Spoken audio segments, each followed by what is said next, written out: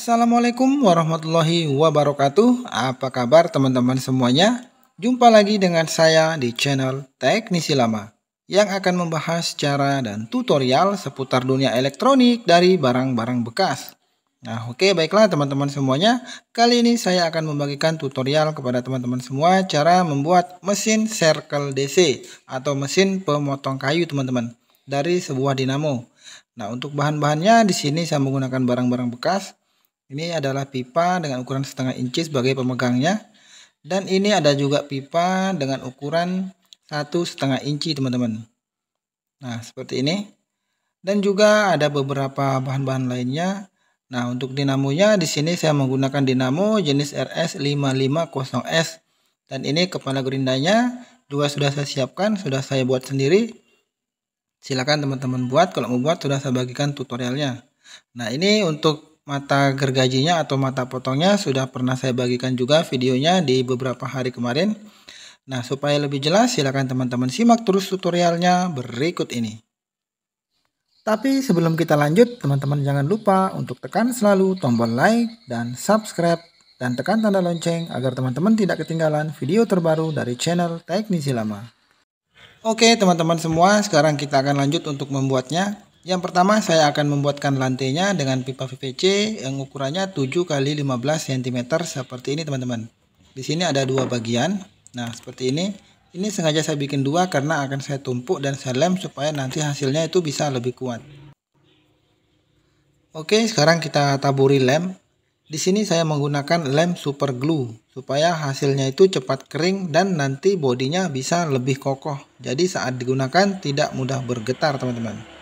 Nah, supaya teman-teman bisa mendapatkan hasil yang kira-kira persis seperti yang saya buat, silakan teman-teman simak terus tutorialnya sampai selesai.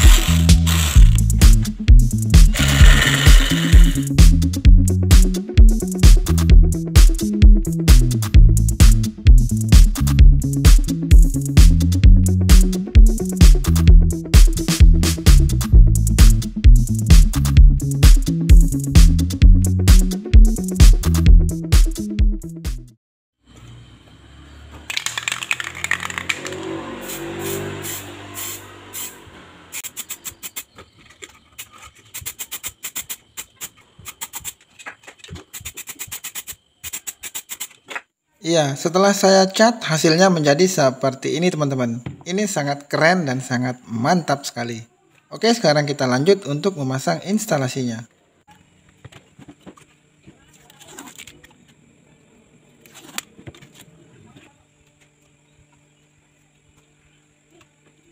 Iya, ini sudah selesai saya lepas semua. Sekarang yang pertama kita akan pasangkan soket sumber dayanya. Nah, di sini saya menggunakan soket sumber daya yang seperti ini. Ini adalah soket sumber daya yang saya buat dari bekas pentil ban dalam motor teman-teman. Soket seperti ini sangat saya rekomendasikan karena ini kuat dan tahan panas. Biasanya kalau yang dibeli di toko itu tidak tahan panas dan cepat meleleh teman-teman. Nah untuk saklarnya di sini saya menggunakan saklar jenis push on yang seperti ini. Teman-teman bisa beli di toko elektronik harganya sekitar Rp3.000 teman-teman. Iya sekarang kita kencangkan murnya. Oke seperti ini. Nah, supaya saklarnya aman, tidak mudah rusak, kita pasangkan rangkaian MOSFET yang seperti ini teman-teman. Seperti yang saya bagikan di beberapa hari yang lalu. Ini alat yang kita gunakan sebagai pengganti relay. Jadi kalau kita menggunakan ini, saklarnya tetap aman. Jadi umurnya bisa panjang. Karena yang berkontak langsung dengan beban bukan saklar, melainkan MOSFET-nya teman-teman. Oke, sekarang kita akan lanjut untuk menyoldernya.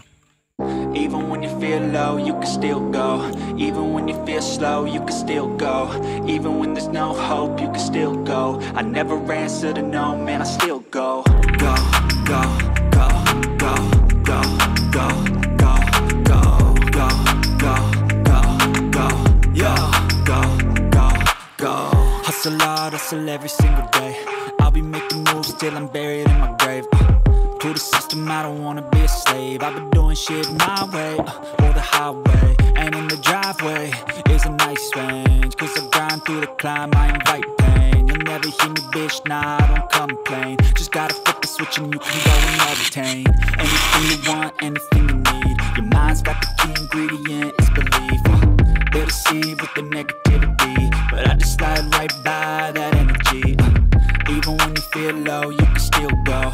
Even when feel slow, you can still go. Even when there's no hope, you can still go. I never answer to no, man, I still go, go, go, go, go, go, go,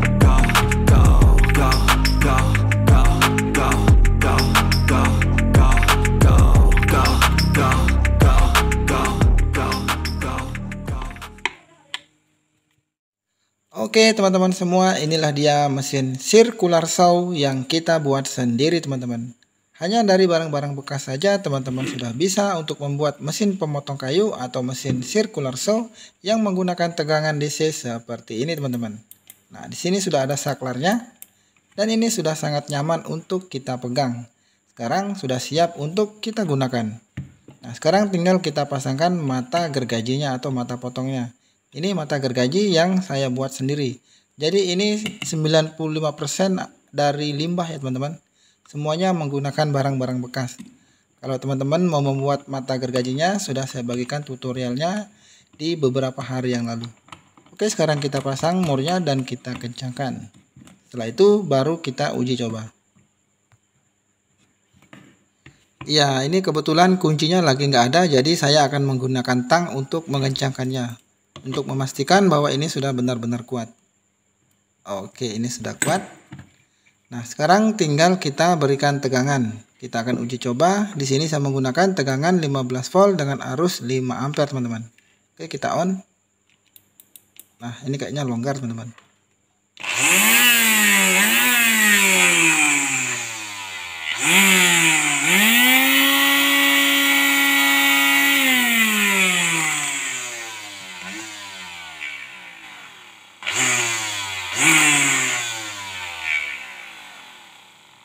Ini RPM-nya sudah sangat kencang sekali ya teman-teman. Sudah sangat lumayan putaran RPM-nya.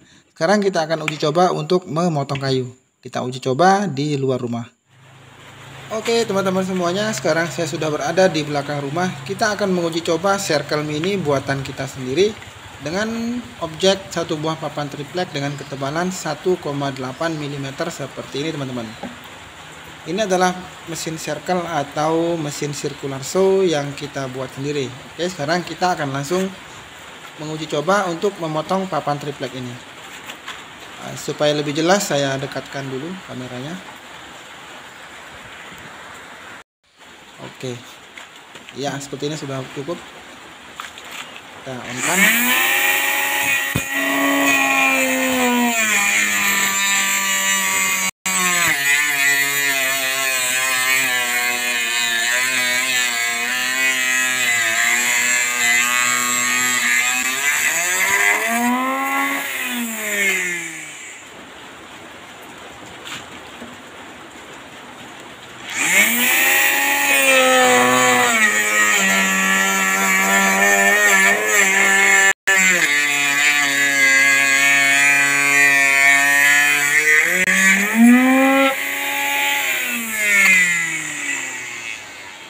Seperti itulah tadi hasilnya teman-teman sudah lihat sendiri. Mesin Circle Mini yang kita buat berhasil untuk memotong papan triplek dengan ketebalan 1,8 mm teman-teman. Semoga teman-teman suka dengan video ini. Jangan lupa bantu tekan tombol like dan subscribe. Terima kasih.